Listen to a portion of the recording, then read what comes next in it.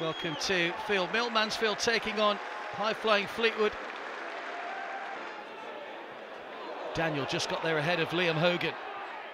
Two waiting in the centre, right the way across, and neither able to get a touch.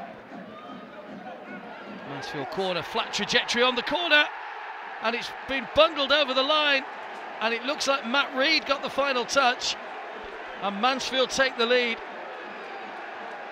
Overcame the corner. Fine header down beyond Chris Maxwell. Mansfield have already scored from one corner. Oh, good